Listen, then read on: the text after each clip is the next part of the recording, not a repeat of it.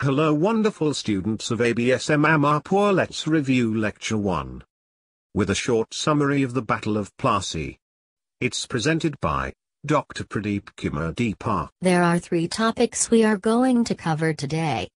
1. Cause of the Battle of Plassey. 2.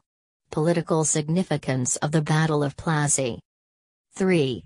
Economical significance of the Battle of Plassey. Let's dive into each topic.